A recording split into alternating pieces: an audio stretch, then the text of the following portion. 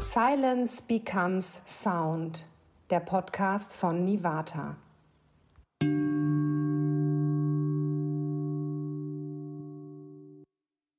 Folge 3. Tanke Frische und Klarheit. Kapalabhati.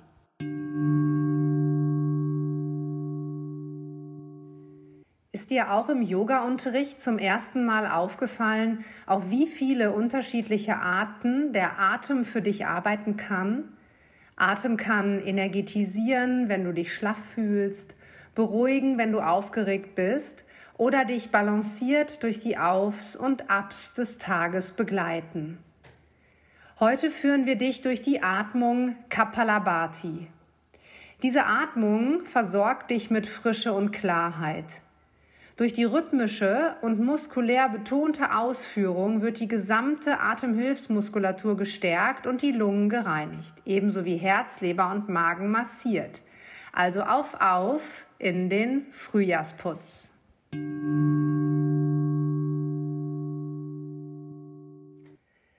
Zunächst wollen wir erstmal dieses Wort Kapalabhati so ein bisschen beleuchten, bevor wir dann gucken, warum wir diese Atmung überhaupt praktizieren und bevor wir dann auch schauen, wie wir sie vor allem praktizieren.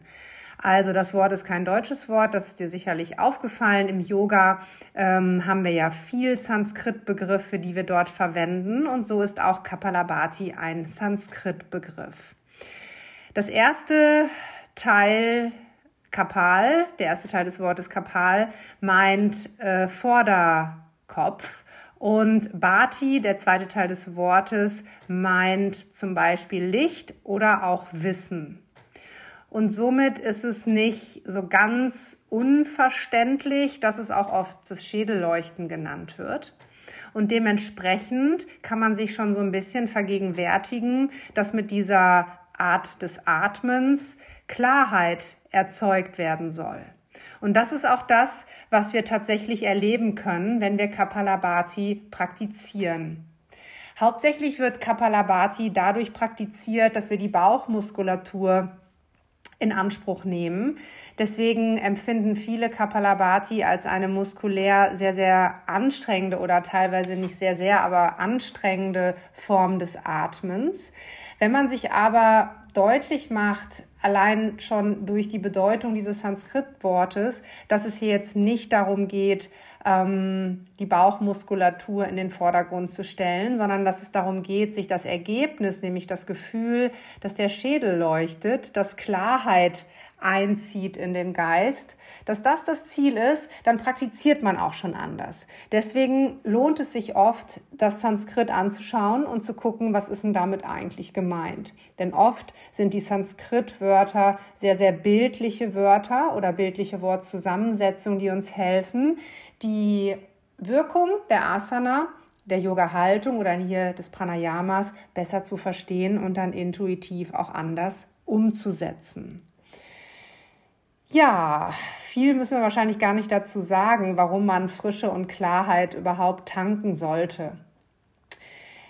Hauptsächlich finden wir Kapalabhati eine sehr, sehr gut geeignete Atmung für die jetzige Jahreszeit, in der wir uns befinden. Wir sind jetzt gerade auf dem Übergang vom Winter in den Frühling.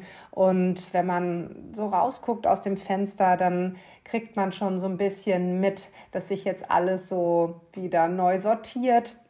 Und dieses Neusortieren können wir über diese Atmung nachempfinden. Es ist so eine Art Frühjahrsputz, den wir mit Kapalabhati ansteuern können. Für Kapalabhati sollte man in der Regel ein bisschen vorher Yoga geübt haben. Warum? Also es geht darum, dass wir, wenn wir die Übung gleich beschreiben, auch beschreiben, dass wir auf eine bestimmte Art und Weise rhythmisch die Bauchmuskulatur betätigen. Dabei vor allem sehr, sehr entspannt bleiben. Viele Menschen, die Kapalabhati praktizieren, benutzen viel zu sehr den Brustbereich. Manchmal sieht man das auch dadurch, dass sich die Schultern hoch und runter bewegen. Darum geht es nicht. Es geht darum, dass der Bauch sich bewegt und wir dabei entspannt bleiben und dann die Wahrnehmung zur Stirn lenken. Wenn man sich jetzt vorstellt, man kommt irgendwie total gestresst und vielleicht auch steif von der sitzenden Arbeit, die man gerade hinter sich hat oder gestresst vom Rumrennen auf die Yogamatte, setzt sich hin und pumpt sich dadurch Kapalabhati, dass wir dann gegebenenfalls die Wirkung verpassen oder die Wirkung sogar gegen uns richten können. Und weil wir das nicht wollen, würden wir empfehlen, dass ihr, bevor ihr Kapalabhati macht, entweder ein paar Yoga-Übungen macht, die ihr kennt, oder, das wäre die Alternative und auch ein Rückblick zur Folge 2, dass ihr euch in Shavasana legt, dass ihr über die Haltung der Endentspannung, die ihr einfach direkt als Entspannung an den Anfang setzt, in eine körperliche Ruhe findet, in eine geistige Ruhe, in eine emotionale Ruhe. Also entweder ein paar Yoga-Übungen, Katze, Kuh etc., Sonnengruß oder ihr legt euch der Einfachheit halber und auch manchmal der Zeit halber einfach in Shavasana. Was haben wir auf yogischer Ebene von Kapalabhati? Wir haben gerade schon gesagt, es erfrischt sozusagen den Geist, es bringt Klarheit, es vertreibt Müdigkeit und Schwere. Aber was macht es auf der philosophischen Idee des Yoga? Kapalabhati reinigt die zwei Nadis, Ida und Pingala. Das sind die Energiebahnen in unserem Körper, die oft mit den Nasenlöchern in Verbindung gebracht werden, links Ida, rechts Pingala. Und manchmal kommt es da zu Disbalancen in diesen beiden Energieströmen und wir wollen die im Yoga balancieren. Und dadurch, dass wir Kapalabhati praktizieren, reinigen wir diese beiden Nadis. Somit kommen wir über diese Reinigung in eine Form von Balance. Wer unter euch Nadi Shodana kennt, also die Wechselatmung, wo wir das linke und das rechte Nasenloch abwechselnd benutzen in einem bestimmten Rhythmus, ähm, diejenigen können, wenn sie das das nächste Mal praktizieren, vorher einmal Kapalabhati machen und mal gucken, ob sich die Nadi Shodana Praxis dadurch verändert. Es kann sein, dass Kapalabhati nicht sofort gelingt, denn wir brauchen zwei Dinge gleichzeitig für Kapalabhati. Wir brauchen einmal die Kenntnis, wie wir unsere Bauchmuskeln aktivieren und auch wieder entspannen. Und wir brauchen vor allen Dingen eine, wie soll ich das sagen, so eine innere Gelassenheit. Also wir können uns da nicht durchpushen. Das bedeutet, seid euch einfach bewusst, wenn das nicht sofort gelingt, dass ihr dann nicht nervös werdet. Es braucht einfach ein bisschen Übung. Normalerweise, wenn wir atmen, betonen wir, wenn wir überhaupt was betonen, eher die Einatmung und lassen die Ausatmung passiv sein. Das wäre so ein bisschen das normale Atemverhalten. In Kapalabhati wird dieses normale Atemverhalten ganz umgedreht. Also das Gegenteil wird quasi gemacht. Wir atmen ganz bewusst und zwar auch mit einem Stoß, also ganz bewusst und stoßweise aus und lassen den Einatmen passiv kommen. Du kannst einfach mal erstmal ganz normal atmen und mal gucken, ob das stimmt, was ich gerade gesagt habe, dass wenn du normalerweise atmest, dass du dich dann mehr auf das Einatmen konzentrierst und das Ausatmen geschehen lässt. Probier das mal so ein bisschen, ob das, ob das so ist, ob du das so bei dir beobachten kannst. Und wenn das so ist, dann wisse, dass in der Atemübung Kapalabhati dieses natürliche Atemverhalten umgedreht wird. Wir machen die Lungen leerer, als wir sie normalerweise machen. Und wir konzentrieren uns darauf, dass die Lungen leer werden und lassen den Atem durch das Entspannen der Bauchmuskulatur passiv wieder einströmen. Du hast jetzt schon mehrfach gehört, dass wir die Bauchmuskeln benutzen. Da liegt es wahrscheinlich nahe, dass dir bis hierher schon im Grunde klar geworden sein müsste, dass vorher zu essen nicht so eine gute Idee ist. Das heißt, bevor du Kapalabhati praktizierst, solltest du idealerweise einen leeren oder zumindest nicht stark gefüllten Magen haben. Im Yoga gibt es immer so ein bisschen diese Regel, dass man ja drei, vier Stunden nach dem Essen kein Yoga praktizieren sollte, also bis zu drei, vier Stunden nach dem Essen. Ähm, die Praxis hat gezeigt, gerade für die, die auch öfter kleinere Mahlzeiten essen, dass es zumindest zwei Stunden sein sollten. Und aus dem Grund ist es zum Beispiel auch gar nicht so schlecht, wenn man morgens Yoga übt vor dem Frühstück, dann hat sich das sowieso schon geklärt. Vorhin habe ich angedeutet, dass man nach Kapalabhati sehr, sehr gut zum Beispiel mit einer Wechselatmung weitermachen könnte. Was noch eine gute Idee ist, nach Kapalabhati zu tun, ist, dass man einfach noch ein bisschen in Stille sitzt. Wer eine Meditationspraxis hat, kann die dann gut anschließen oder einfach auf die Geräusche hören, die um einen rum sind und noch so ein kleines bisschen sitzen bleiben und die Vorzüge der Stille genießen.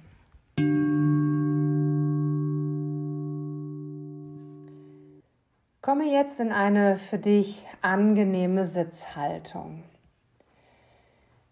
Schau, dass deine Wirbelsäule aufrecht ist, deine Augen entspannt geschlossen sind und du die Hände in ein Mudra bringst. Vielleicht bringst du Daumen und Zeigefinger zueinander. Die Handflächen zeigen entweder nach unten oder nach oben. Atme hier ein paar Mal ein und aus und beobachte, wie sich die Bauchdecke hebt und senkt, während du atmest. Und dann beobachte, wie sich mit der Einatmung die Bauchdecke wölbt und mit der Ausatmung sich die Bauchdecke Richtung Wirbelsäule zurückentwickelt. Wenn du das anders beobachtest, dann versuche es willentlich so zu erzeugen, dass mit der Einatmung der Bauch sich wölbt, die Lungen sich füllen und mit der Ausatmung die Lungen sich leeren und der Bauch sich zurück Richtung Wirbelsäule bewegt. Beim nächsten Mal bei der Ausatmung unterstützt du dieses Zurückziehen der Bauchdecke, indem du deine Bauchmuskulatur mit hinzuziehst. Und dann lässt du die Bauchmuskulatur los und beobachtest, wie wieder Luft einströmt. Mach das noch ein paar Mal, einfach so im Atembewusstsein, dass du immer die Ausatmung in den Fokus der Aufmerksamkeit rückst und die Bauchmuskeln aktivierst, um auszuatmen. Dann die Bauchmuskeln entspannst und die Einatmung wie von alleine kommen lässt. Einfach dadurch, dass die Bauchmuskulatur sich entspannt. Schau, dass du möglichst wenig Anstrengung hier involvierst, dass du das Ganze sehr, sehr gelassen machst.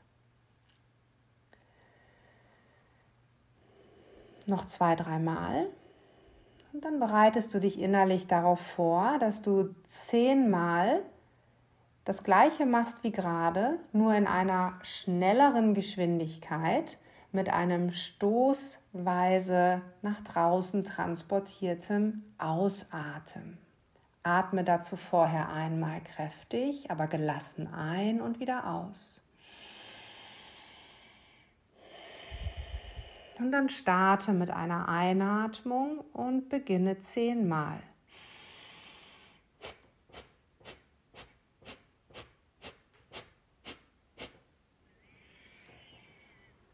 Danach atmest du wieder weiter im natürlichen Atemrhythmus ein und aus.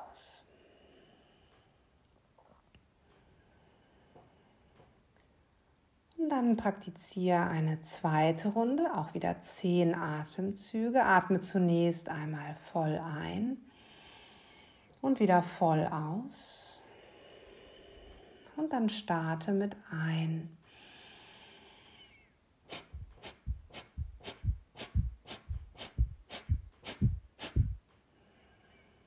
Atme weiter ein und tief wieder aus. Und dann mach ganz eigenständig in deinem eigenen Tempo und Atemrhythmus noch eine dritte Runde, auch hier wieder zehnmal.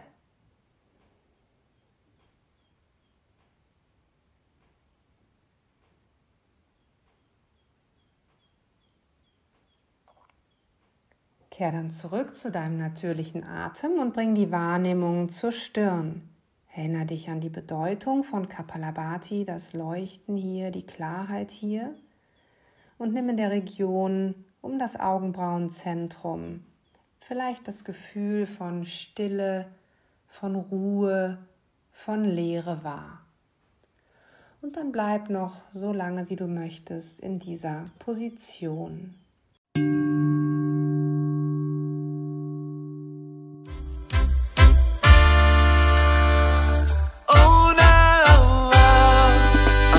Take a little time and let the time take me away. Silence becomes sound. Der Podcast von Nivata. And every little thought that I think up is like a candle to the wind. I let the flame flicker on, and if it goes out, I light it again.